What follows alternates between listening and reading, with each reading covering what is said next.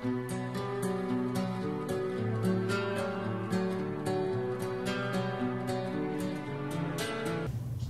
that? What? Who's that? Oh, that? That's a parent. They're allowed to sit in in our meetings. I know, but they hardly ever do.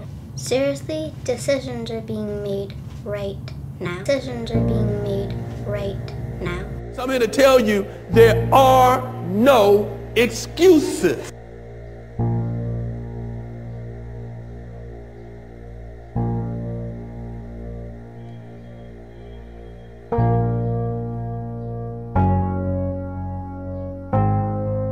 Don't wait until it's too late.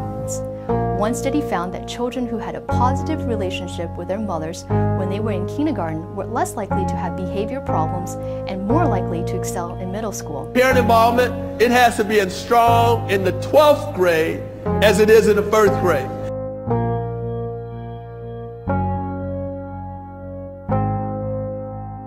Don't wait until it's too late.